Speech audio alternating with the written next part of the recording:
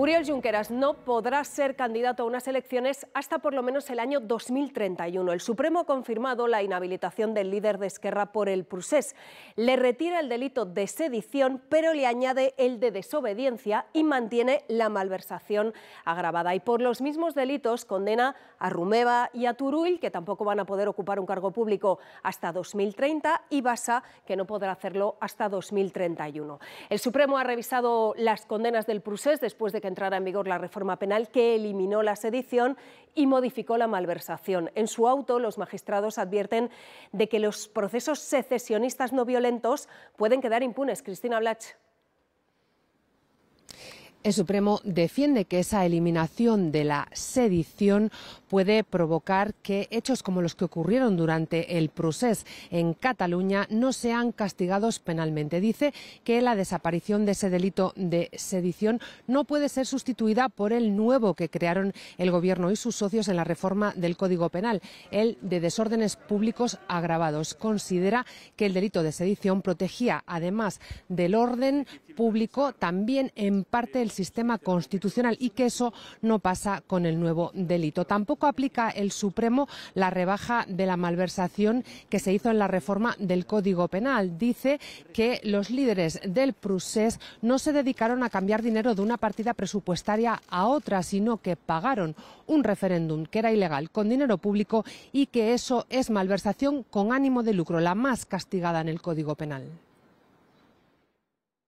El Supremo mantiene la inhabilitación a Orión Junqueras hasta 2031. Considera que la sedición no se puede sustituir por el nuevo delito de desórdenes públicos agravados y le condena por desobediencia en concurso con malversación en su versión más grave, porque defienden hubo ánimo de lucro para financiar el referéndum ilegal del 1 de octubre.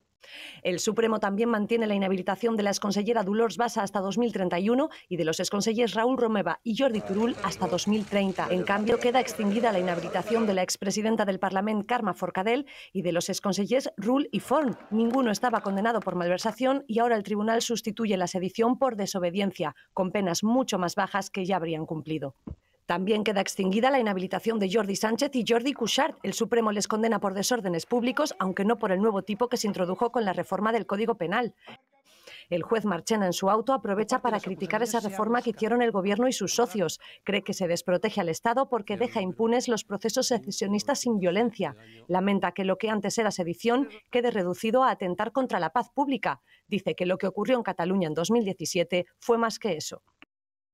Esta decisión del Supremo vuelve a enfrentar a Gobierno y a PP. Los populares dicen que el tribunal está haciendo de contrapeso a Sánchez y los socialistas les acusan de mentir. Los partidos independentistas dicen que el Supremo intenta dejar sin efecto la reforma del Código Penal. Los independentistas atacan al Supremo, creen que parece más un opinador político que un tribunal y quitan importancia a seguir inhabilitados. No em cal cap càrrec públic per treballar intensament per la independència de Catalunya.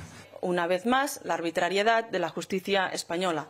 Una justicia que responde más a la derecha más retrógrada del Estado español que a otros criterios del derecho.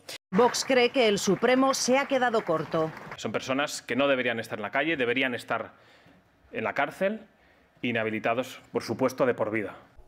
Y el PP celebra la posición del Supremo, cree que es un contrapeso a la intención que tenía el Gobierno cuando cambió la ley. El Estado de Derecho funciona, corrigiendo en este caso una voluntad declarada por parte del Gobierno de beneficiar a determinados líderes independentistas. El Gobierno asegura que lo que se demuestra es que el PP ha usado este tema para engañar a los españoles.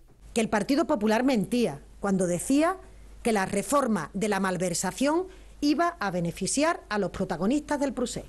Esquerra ya ha anunciado que pedirá la nulidad ante el Supremo y recurrirá ante el Tribunal Constitucional.